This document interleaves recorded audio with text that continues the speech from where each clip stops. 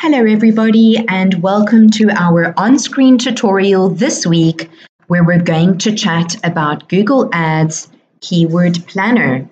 So you need to be logged into your Google Ads account and you need to also have the bank details set up in order to every for everything to be active. If you're on the dashboard, the way to navigate to the Keyword Planner is on the top menu bar in the right hand side, you will see Tools and Settings. If you click on Tools and Settings, a pop up box with various different drop down menus appears. And here on the left hand side, you will see Keyword Planner, and you would select that. I've also noticed that at the bottom of the screen, there's details on how to use Keyword Planner. So we're going to go through a few of those pointers today. Keyword Planner helps you to research keywords for your search campaigns. You can use this free tool to discover new keywords related to your business and see estimates of the searches that they receive and the cost to target them. Keyword Planner also provides another way to create search campaigns that's centered around in depth keyword research. This article shows you how to use Keyword Planner to lay the groundwork for a successful campaign. These are the benefits of using Google Keyword Planner. Discover new keywords, get suggestions for keywords related to your product, services, or website, see monthly searches, determine the cost, organize keywords, and create new campaigns. It's important to bear in mind that while Keyword Planner can provide insights into keyword targeting, campaign performance depends on a variety of factors. For example, your bid, budget, product, and customer behavior in your industry can all influence the success of your campaigns. Here, if you see below where it says how to use Keyword Planner, there's also an option where you can learn new feature announcements. But when we select how to use Keyword Planner, this little help pop up box appears. And towards the end of what I've just been through now, you'll see the instructions on how to create a keyword plan. Step by step instructions, all here, all up to date for you to use. Then we have other options to include discover new keywords, get search volume and forecasts, and also how to understand your keyword, uh, keyword forecast edit ad groups and location targeting and so forth. So there's so much that you can find within this very, very helpful Google Ad Keyword Planner pop up box. I'm just going to close down the help pop up box now, and we are looking at the Keyword Planner dashboard. So, this is essentially where you would start, and here you can see three plans that I've already created for various search campaigns that I have running within this particular account. So if you wanted to create a new one, you would go into discover new keywords. And let's say, for example, we're going to be adding something about driving experiences because this is what we want to be advertising using search. I'm going to put high performance driving, advanced driving, skid pan, and also defensive driving.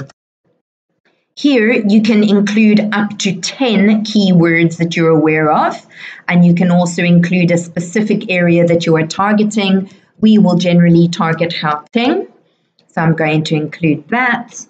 And I'm going to exclude the country and just include the province you would know where to target your specific audience and you would include that city or region. You can also put a website address in there and Google will extract the keywords from it. And you can even start with a website. I prefer to start with keywords. And off we go. I'm going to select Get Results. And for the ones that I've included between these specific dates or maybe we could go in and customize the dates from, let's say, um, last month, pops up for last month. Just close that little pop up box over there. And here we have 1,090 keyword ideas available. And that is using variations of the keywords that I added in the beginning. Okay, so then what you can do is you can sort it by competition, high, medium, or low. You can also sort it by average monthly searches. So I assume you would want to be using the searches that are most popular or maybe focusing on the cheaper um, rates that would be for your medium keyword searches. You can see all of the top of page bid or the top of uh, page bid for high range or low range. That will give you an idea of what it will cost you uh, for which position you'll be displaying on in Google. So, what's quite nice here is just to spend a little bit of time in the dashboard, opening and closing all of the menus, not even making any selections, but just familiarizing yourself with how the dashboard works for Keyword Planner you can select forecast, change the dates over here. Maybe you want to do the next quarter. You can change the area that you were targeting over there. You can include, this would be the saved keywords that you've added to your plan. Let's go back.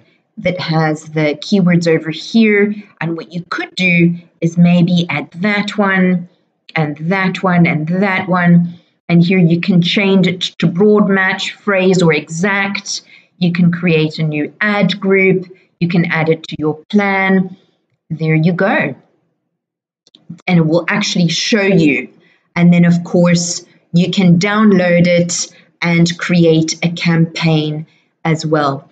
So, this was just a very brief introduction, a little familiarization of the keyword planner tool, which is very, very powerful. I urge you to schedule some time, put some time aside to go and play with this tool within Google before you start setting up your campaigns and have a read of what I was showing you in the beginning with the Google Help box that really helped.